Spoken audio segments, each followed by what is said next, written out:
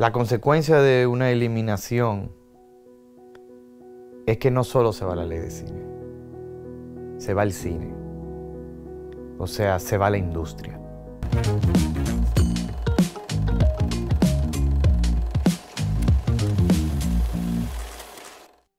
Soy José María Cabral, eh, digamos primero un muchacho, eh, ya no tan muchachito, pero sigue siendo un muchacho curioso, con muchas ganas de vivir y de entender la vida y lo hago eso a través del cine. Entonces el cine es herramienta en la que yo me permito meterme en mundos distintos, explorar esos mundos, explorar esos personajes y a partir de eso llegar a distintas tesis de la vida. Y cuando lo tengo, digamos, más o menos resuelto, ahí decido compartirlo con una audiencia para generar una conversación, que es lo que más me gusta del cine.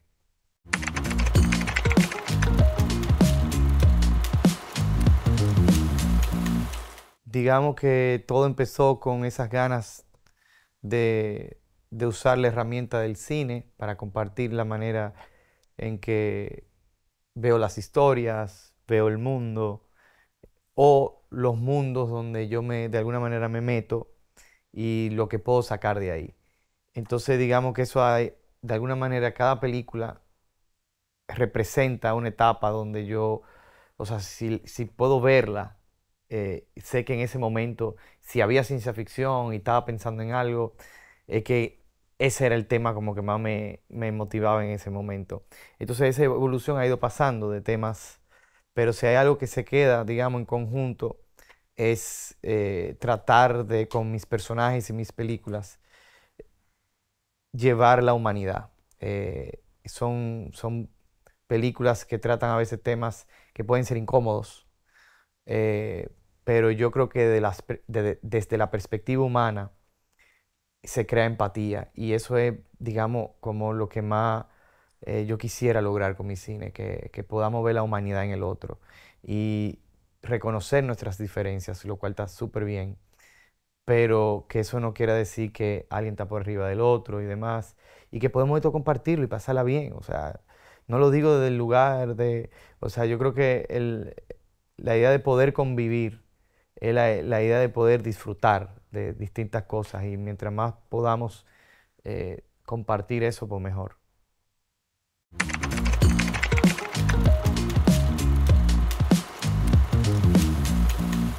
Antes de hacer a que mate, me tocó hacer excesos. Y exceso yo creo que también es una película que hice con mis amigos. Y de alguna manera me dio como la fuerza de entender de que con pocos recursos podíamos hacer una película. Y luego de ahí hicimos un cortometraje que se llama 15 minutos. Ese cortometraje era con la idea de hacer una película, pero no nos daba el presupuesto. Entonces digamos que sintetizamos una historia en solo 15 minutos que acaba abruptamente. ¿Para qué acaba abruptamente? Para que la gente diga, hey, pero termínenla, ¿por qué acaba así la película? Y fue un fracaso en muchos niveles, pero hubo un éxito, que un productor la vio y se quedó con la gana de ver más. Y digamos que ese fue uno de los pocos éxitos que tuvo, porque cuando la estrenamos y todo no funcionó, precisamente porque se acababa la película en medio de la nada. Pero al final vimos esa luz, al final del túnel, donde hubo un productor que dijo, mira, termina de escribir ese guion que te financio la película. Y así es que empiezo a trabajar con, en ese momento, Antena Latina Films, eh, que ahí estaba Alfonso Rodríguez, José Miguel Bonetti, estaban haciendo cine, sin ley de cine, y hacemos esa película. Y hacemos esa película que en ese momento para mí era una locura. O sea, yo tenía apenas 20, 21 años y ya yo estaba haciendo un largometraje con presupuesto, con actores profesionales, trayendo un actor de fuera, eh, todo, eh, era como bastante surreal.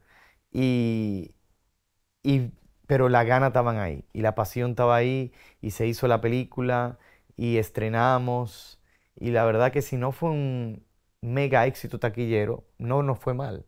Y en un momento donde había muchas comedias, de repente viene esta película y rompe un poquito ese, ese parámetro y, nos va bien y vamos a festivales de cine y ganamos premios. Y fue, digamos, que el inicio de lo que de luego eh, serían ahora las más de 10 películas que llevo.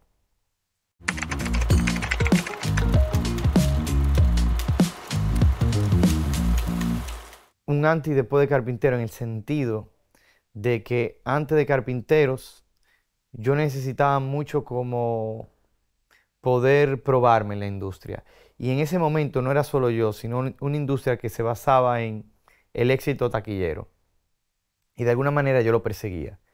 Y, por eso eh, van a ver que entre mis primeras películas hay comedia, hay thriller y demás, porque yo estoy tratando de conquistar esa gran audiencia que nunca lo logro. Y es donde en Carpinteros yo digo, voy a tratar de no conquistar una gran audiencia, sino voy a contar una película eh, que yo quiero contar de la manera que yo quiero contar. Irónicamente, justo es la que me cambia, digamos, la carrera. Y em, estrenamos en Sundance, que fue la verdad que un momento lindísimo, en, uno de los mejores festivales de cine del mundo. Y a partir de ahí, pues yo me dedico a hacer un tipo de películas. Yo no digo que para mí, yo no, yo no soy de esta persona, yo no quiero ver una película solo. Eso fuera muy deprimente. Eh, yo quiero hacer películas que a mí me gusten, pero que de alguna manera la pueda compartir con una buena audiencia. Si es un nicho, está bien, no, no tiene por qué ser que a todo el mundo le guste, no, no estamos regalando eh, dinero en una película, lo que estamos haciendo es ofreciendo una historia y ofreciendo unos personajes. Y en base a eso la gente conecta o no conecta. Y yo sí quiero conectar con la gente, pero digamos que desde un lugar donde yo siento que puedo ser más auténtico.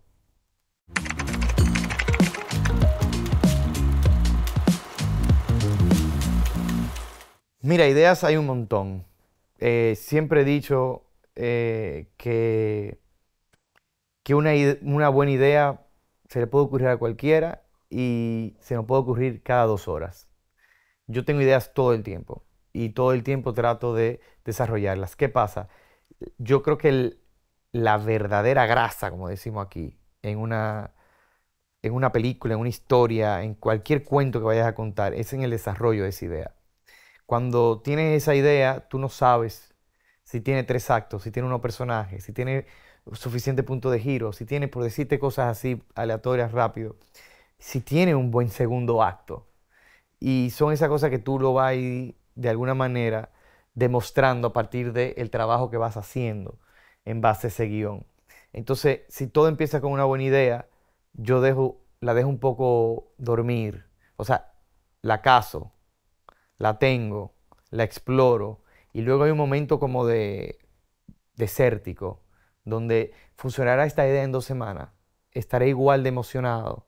Porque yo creo que la idea viene con dopamina. Hay algo ahí donde una buena idea de una vez te haces escenarios, crees en el éxito de la idea, pero hay momentos donde esa dopamina baja y luego, ok, todavía te resulta esa idea interesante. Y si sí, entonces ya entra el proceso de desarrollo, que eso puede tomar muchos meses de investigación, es de época, es en otro lugar en el que no vives.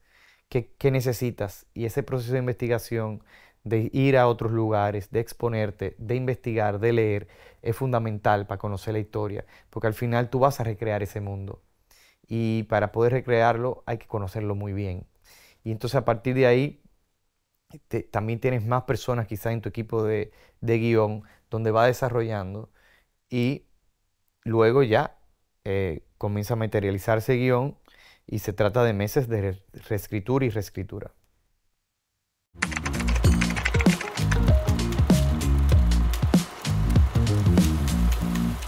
No, buenísimo. O sea, eh, lo, interesante del cine es que el emprendurismo no es individual, sino colectivo. O sea, somos un equipo que está trabajando. Por eso se acaba una película y, hay que contar cinco minutos para ver la cantidad de gente que trabajó. O sea, no es algo que está firmado por una persona. Hay que sentarse, ver. O sea, significa que hasta lo que menos tú crees que es necesario, pues sí lo es. O sea, si no hay una persona que transporta al actor o al crew de su casa al set o que trae la comida o el que está encargado de la hidratación, o cosas que tú dices, bueno, pero quitas eso y cómo se va a filmar una película eh, deshidratado. no se puede. Para que el cerebro funcione y genere buena idea, hay que comer bien y hay que beber agua. Entonces son detalles que se pueden perder en medio de quizá un director o una directora que piense que lo tiene todo en su cabeza. Y si bien hay un punto de vista, que es el del o la realizadora, eso está claro, para llevar eso a cabo se necesita toda una estructura de cantidad de personas, artistas o no artistas, porque también el que trabaja en la parte eh, contable, financiera, son artistas a su nivel, pero también trabajan de otra forma ese, e, e, esa parte artística, que ya digamos que cae en otra rama eh, laboral, pero sin, esa estructura, pues no hay ninguna película. Sería... Eh, y, no quiere decir que, se necesitan 100 personas. Puede ser una película de, tres personas. Pero esas tres personas hay, hay compañerismo ahí. Y se están apoyando uno al otro. Y es muy necesario.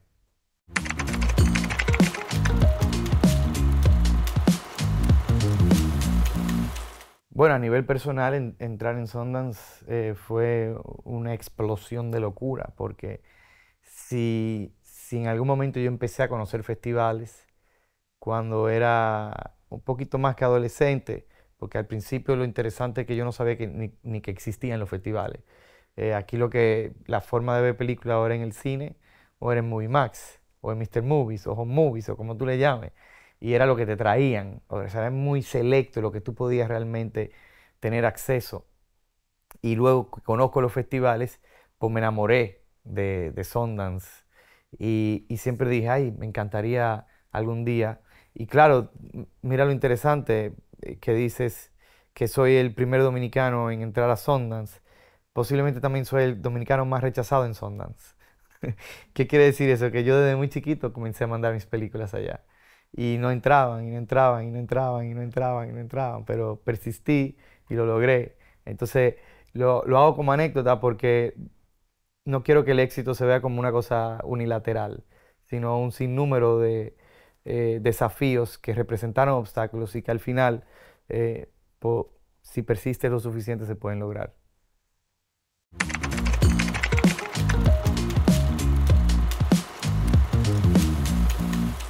Yo creo que en Carpinteros, en Perejil, en Hotel Copelia, incluso en los documentales Isla de Plástico, Tumba y Quema, eh, y te podría decir que hasta el proyeccionista de alguna manera, aunque esa va más sobre una carta de, amor al cine.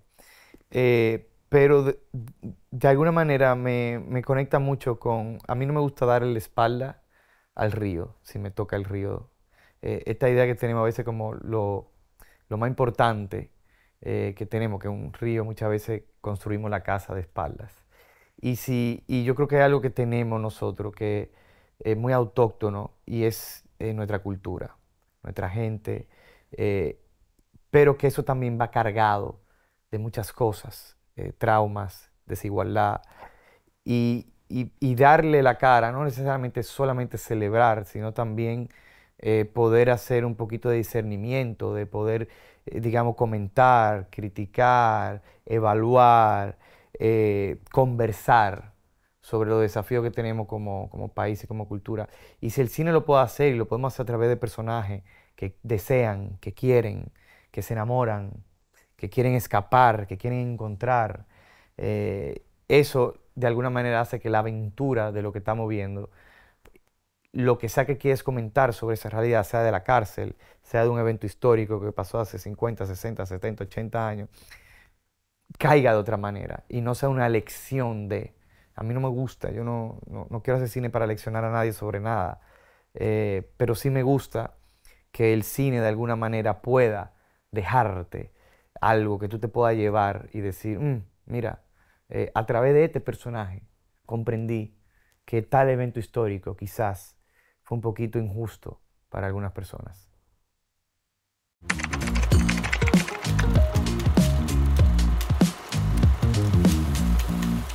Eh, eso es muy difícil de medir, eh, sobre todo yo, porque soy el realizador de las películas. Pero algo que no puedo negar es que se conversa. Eh, si el impacto empieza con una conversación, pues se ha logrado. Películas, eh, sobre todo esa que tú mencionas, históricas, una de ellas fue muy incómoda para la sociedad dominicana. Y, y bueno, si permitió que conversáramos sobre ese hecho, aunque haya gente que simplemente quiera destruir tu trabajo porque opina diferente, eso ya no es una, eso no es una conversación. Eso es una persona pues queriendo simplemente personalizar un trabajo y, destruirlo sin generar un, debate o una conversación. Pero todo lo que sea pro una conversación, aunque podamos diferir, pues a mí me parece que enriquece muchísimo la sociedad dominicana y la sociedad en cualquier parte del mundo.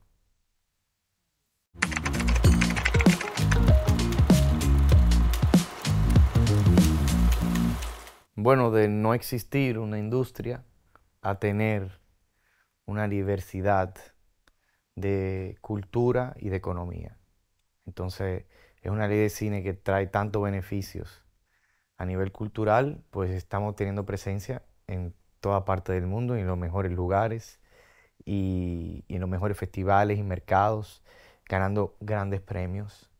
Eh, y la parte, digamos, de la industria económica, pues, se están generando muchos empleos, hay una inyección extranjera importantísima, se están creando técnicos eh, que, que no, no, están ahí sin poder crecer, es una, es una industria que permite el crecimiento, que permite que una persona que quizás, un carpintero, un ebanista que estaba tratando de, eh, pues, de alguna manera ayudar a su familia, ahora lo puede hacer mejor, porque tiene un mejor trabajo, está creciendo, está aprendiendo y digamos que hasta eh, crece la clase media a través de mejores trabajos que permiten que las personas emprendan y, no solamente se queden siempre en el mismo puesto. Entonces hay demasiado beneficio que ha permitido la ley de cine y la gente se pregunta, ¿no? Entonces, ¿por, ¿por qué una ley de cine? Primero hay ley de cine casi en todos los países. Y algo importante es entender que el incentivo de cine es para poder nosotros competir, que ya lo estamos haciendo, pero para nosotros competir con eh, industrias que tienen más de 100 años. Entonces, si nosotros que empezamos a hacer recientemente, para poder competir, que ya lo estamos haciendo hasta mejores que en cualquiera de la región, pero para poder quedarnos en ese nivel y tener los beneficios que tienen grandes países que han comprendido por qué es importante tener leyes de cine. Pues entonces sí nosotros necesitamos eh, ese, digamos, ese incentivo, ese avance para tener una industria sólida. Porque si no, pues, ok, siempre se puede llegar, pero ¿qué vamos a tomar?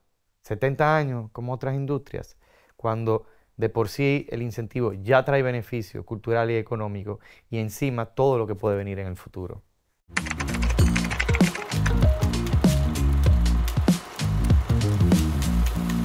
La consecuencia de una eliminación es que no solo se va la ley de cine, se va el cine, o sea, se va la industria.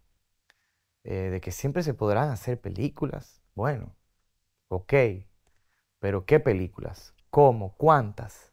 ¿Habrá industria? ¿Saldré yo con el iPhone y saldrás una película? Posiblemente.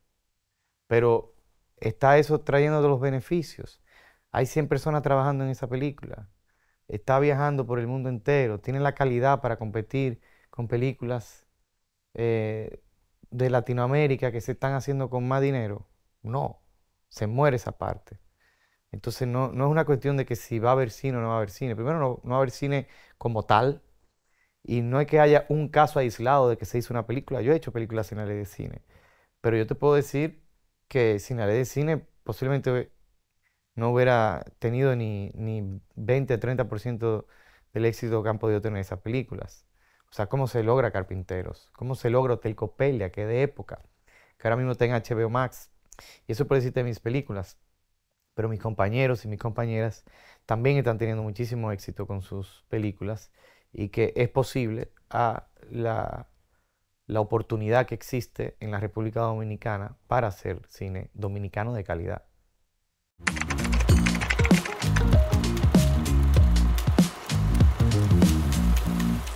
Iniciativas como estas, hablar de la ley, eh, mostrar los beneficios, eh, proteger también nosotros mismos, eh, hacer un cine de calidad, hacer un cine responsable, nosotros informarle a la población cómo funciona esto, quizá en parte la desinformación no ayuda, que a veces se piensa que es una cosa, pero no lo es.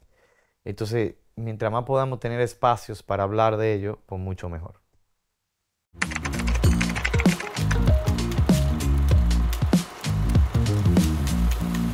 Yo creo que, en los próximos 5 o 10 años estamos haciendo coproducciones muy importantes.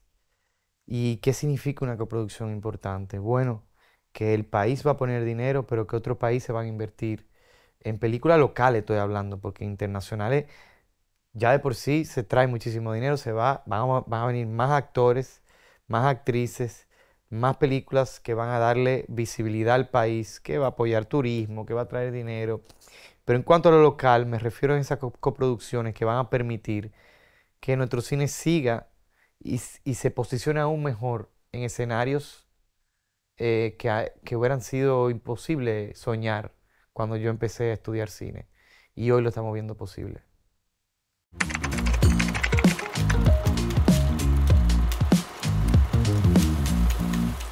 Mm, quiero hacer algo de horror.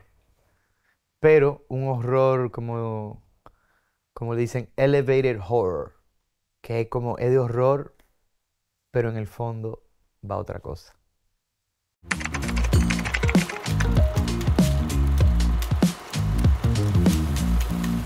Hay dos proyectos en los que estoy ya pronto estrena Tigre, que es un drama, y el documental de la 42 de Capotillo.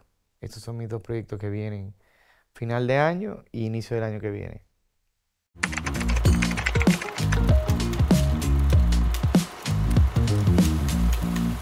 Es imposible separar la parte creativa de los aspectos técnicos de producción porque al final, yo siempre he dicho que un director o una directora es un solucionador de problemas.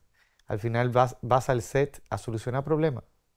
Esa idea que tú tenías en la cabeza estaba muy bien cuando tú estabas en tu casa, cuando soñaste y cuando le escribiste. Ahora estás en el set y está lloviendo. Esos extras no pueden venir otro día.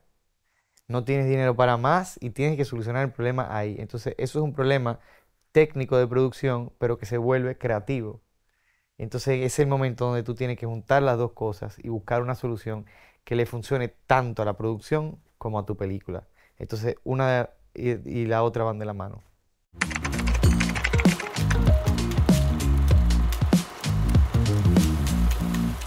Que en el inicio, y luego lo solté, pero en el inicio hay una película que se llama El Mariachi, que hizo Robert Rodríguez en el 92, 93.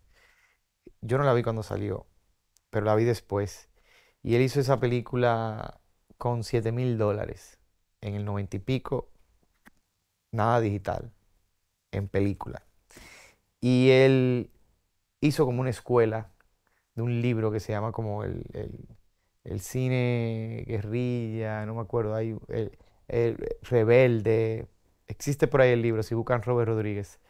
Y eso influenció mucho en darme un poquito de, de fuerza de que, y de seguridad de que con, con pocos recursos, pero una buena idea, la cosa camina para adelante.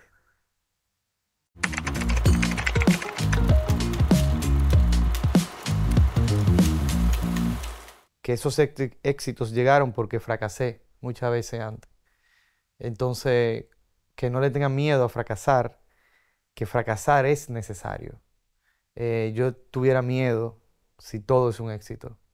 Porque entonces no sé si, si, si realmente estamos conectando con ese lugar del artista donde se va moldeando para entender quién es en el mundo, qué quiere decirle al mundo y qué lo hace original y auténtico. Y, eso solo se da a través de, eh, o se da mejor, o, uno lo logra comprender mejor a través de los fracasos. Y tú dirás, bueno, pero hay figuras como Tarantino que han hecho nueve películas y las nueve son obra de arte.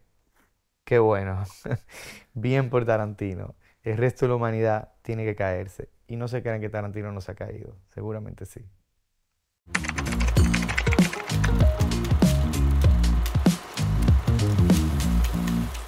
No, que agradezco mucho a la gente que está pendiente de las películas, que me lo tomo muy en serio y que quiero siempre dar lo mejor que, que tengo para, para que la experiencia que van a ver pues sea gratificante.